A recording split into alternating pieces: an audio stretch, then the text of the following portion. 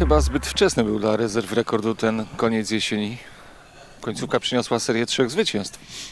Yy, tak, myślę, że mm, jakby policzyć, yy, myśląc o tej wpadce w Tworkowie, a gdzieś tam też, może nie dopisywaliśmy punktów yy, w meczu Tworkowym, to nigdy nie można, ale gdzieś liczyliśmy mocno na to, że punkty z tym Tworkowem przywieziemy, to mogło się zrobić nawet 5 meczów bez, bez porażki, a może nawet 5 zwycięstw, więc no na pewno dla nas im dłużej ta liga trwała, im więcej łapaliśmy doświadczenia yy, tego bycia z tą ligą, to to rzeczywiście można stwierdzić, że szkoda, że ta, że ta, że ta runda dla nas się już skończyła.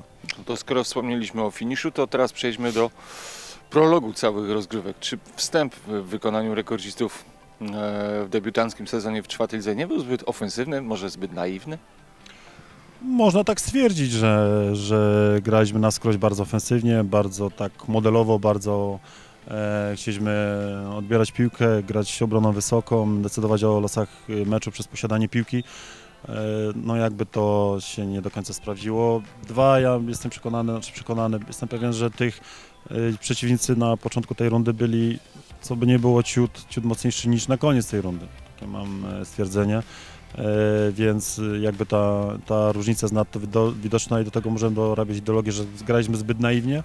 E, Raz na pewno takie stwierdzenie e, można postawić, że, że graliśmy trochę zbyt naiwnie, potrzebowaliśmy paru meczów nauki, mm, tych doświadczeń na poziomie czwartej ligi, żeby, żeby te nasze priorytety, jeżeli chodzi o grę, trochę zmienić, co przyniosło nam skutek w postaci kilku zwycięstw.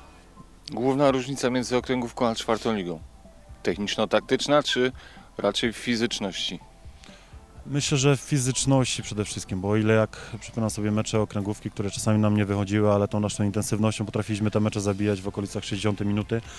E, Tu w pierwszych meczach też postawiliśmy na dużą intensywność, na, na to, że liczyliśmy, że w pewnym momencie przeciwnik zgaśnie, tak się, e, tak się nie działo, więc myślę, że przede wszystkim przeskok pod względem pod względem fizycznym, ale myślę, że te, ta sfera techniczno-taktyczna też było. Trafiliśmy na zawodników, na zespoły bardziej wyrafinowane, na zawodników, którzy spokojnie, yy, myślę, że w jednym czy drugim klubie czwartoligowym mogliby, czwartoligowym, trzecioligowym, czy nawet wyżej, mogli być grać i, i każdy zespół miał taką, e, taką perełkę, która czasami potrafiła czasami potrafiła zmieniać e, losy meczu, więc myślę, że pod każdym względem, ale chyba ten, ten walor taki e, motoryczny i, i ten mm, taktyczny plus wy- wyrafinowanie był, wychodził na, mocno naprzód.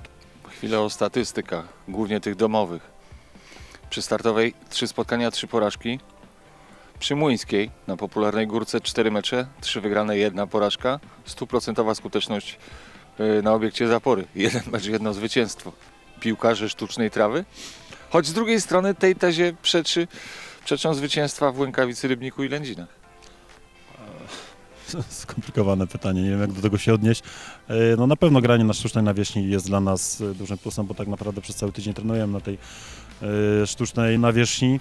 E, No nie potrafiliśmy za bardzo zapunktować w tych meczach domowych, szczególnie u siebie no, przez, przez startowy na naszym, na naszym ośrodku, ale też jakby się wiąże z odpowiedzią na pierwsze pytanie, że trochę tych przeciwnych jednak mieliśmy bardzo wymagających, bo Odra na ten moment, na tamten moment jak z nimi graliśmy to był świetny zespół, później chyba też trochę para z nich uszła, graliśmy z Podbeskidzią, graliśmy z, e, z Czowicami, które też mają określoną jakość i, i zawodników na określonym wysokim e, poziomie, więc tu mieliśmy trochę problemy, żeby na swoim e, obiekcie mm, zapunktować. E, Dwa, też, że nie obcowaliśmy za często na tej naturalnej e, płycie, więc tak naprawdę graliśmy trochę u siebie, a, a nawierzchnia była jak, jak na wyjeździe. Myślę, meczem z Łękawicą, mecz w wygraliśmy raz, że wygraliśmy niezły mecz, ale też wygraliśmy tam słabą talentu, byliśmy mocno wzmocnieni przez zawodników z, z, trzeciej, y, z trzeciej ligi, którzy tych y, okazji do obcowania na naturalnej płycie mają trochę więcej mimo wszystko. Dziesiąta lokata, powiedzmy szczerze, dość kiepska. Ale z kolei 21 punktów to całkiem niezły stan posiadania w kontekście rundy rewanżowej, prawdaż? Jak najbardziej. Jeżeli tak przeanalizujemy mm, właśnie może tabelę, dziesiąte miejsce myślę, że jest optymalne, jeżeli chodzi o, o moje, moje założenia przedsezonowe, że my gdzieś w okolicach środka, ta, środka tabeli będziemy się gdzieś kręcić. Chciałbym, życzył, życzyłem sobie tego, aczkolwiek dla mnie też to była duża niewiadoma. E, Liczba punktów myślę, że na duży plus, bo 7 wygranych meczów byliśmy bezkompromisowi, o czym też wspomniałeś we wcześniejszym artykule na naszej stronie, albo wygrywaliśmy, albo, albo przegrywaliśmy 21 punktów. Myślę, że to jest solidny, e, solidna e, zaliczka. Myślę, że jak popatrzymy w tabelę, to tak naprawdę do, do piątego miejsca czy do czwartego miejsca, które znajmują Ornotowice, brakują nam tak naprawdę jednej, jednej wygranej i mogliśmy, wygrywając choćby w Tworkowie, mogli- mogliśmy ten, e, tą rundę skończyć na przykład na piątym czy na szóstym miejscu, także ten stan posiadania, jeżeli chodzi o punkty, jest, jest optymalny i daje nam niezłą pozycję o to, żeby zrealizować ten nasz cel na rundę, e, na cały sezon, na rundę wiosenną. A czy pokusiłbyś się już dzisiaj, aby postawić na to, kto zagra w barażach o trzecią ligę? Yy, Jeżeli patrząc tak kadrowo, to mega mocny jest, mega mocny jest Podbeskidzie, bo sama osoba Damiana Chmiela, czy Tomka Górkiewicza, czy braci Stryjewskich, yy, czy mm, Michał Batelt, czy, czy Felszu, no to jest ekipa, która, którzy mają minuty na poziomie trzeciej ligi i wyżej. Yy, Więc do tego zdolną młodzież yy, w Podbeskidzie, która gdzieś jest uzupełnieniem i tworzy taką fajną mieszankę. Więc kadrowo na pewno najmocniejszy Podbeskidzie. Jestem ciekaw, jakie E, Ruchy kadrowe będą też ze zmianą trenera, jeżeli chodzi o, o, y, mm, o to Podbeskidzie. Bardzo solidna jest Polonia Łaziska, która e, ma świetną obronę, m, rzadko co traci bramki i ma najmniej chyba straconych bramek w lidze, więc myślę, że między tym, tymi dwoma zespołami rozstrzygnie się kwestia udziału w barażu o awans do trzeciej ligi. To wróćmy na startową i do rekordzistów. Czy w rewanżach nasz zespół będzie bardziej pragmatyczny, czy nadal ofensywny?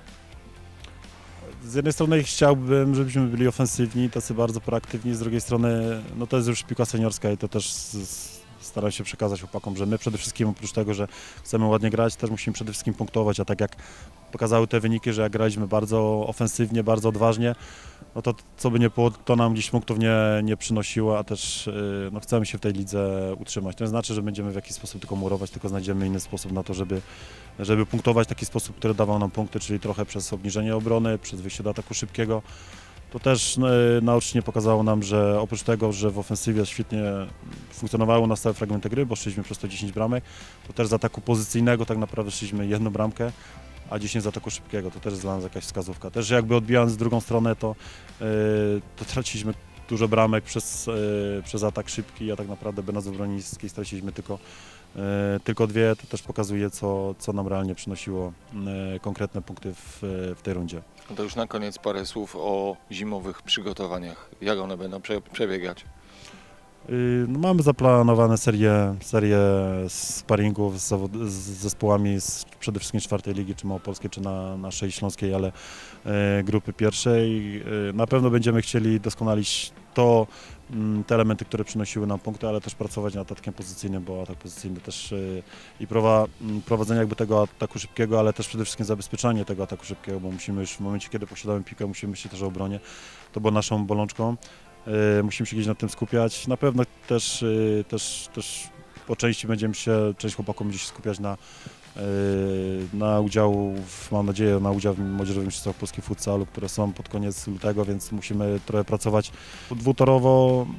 No, no nic, no, na pewno będziemy pracować nad tym, żeby się rozwijać, każdy trening e, traktować bardzo, bardzo poważnie, żeby, żeby jak wrócimy za te trzy miesiące do, do rozgrywek, żeby być optymalnie przygotowany do, do tego, żeby osiągnąć cel, który sobie założyliśmy. Dziękując za jesienną część sezonu, życzymy spokojnej zimy. Serdecznie dziękuję. Wszystkiego dobrego.